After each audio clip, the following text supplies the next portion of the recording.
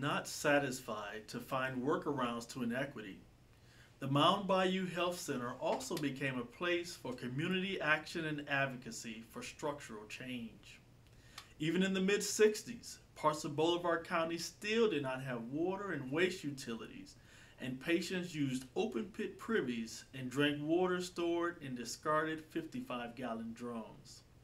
Center staff organized strikes and engaged in lawsuits to force the state and local government to bring equal facilities to the rural black communities.